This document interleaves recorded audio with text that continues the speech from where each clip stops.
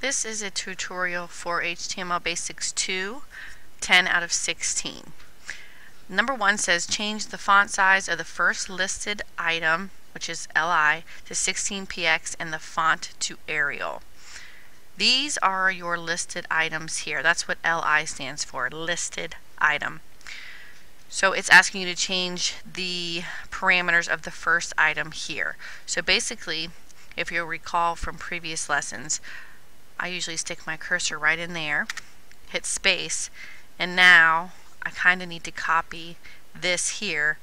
Um, but of course mine's going to look a little bit different, but there's the example I'm going to be looking at. So for the first one, I'm going to go ahead and insert my style, my equal sign, and then my quotation mark.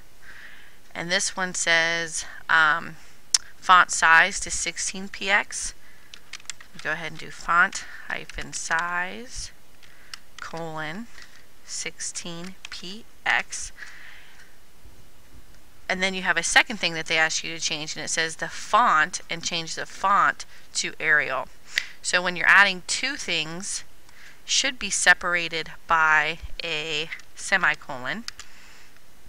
And then when you're changing the font that's font hyphen family colon, and then anytime you're changing the font family, it has to be capitalized. So make sure it is capitalized and spelled correctly.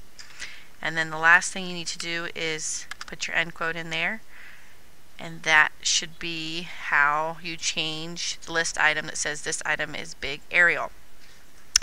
Um, I'm not going to show you how to do 2 and 3 because it's pretty much the same as step 1. You're just changing different font sizes and font families.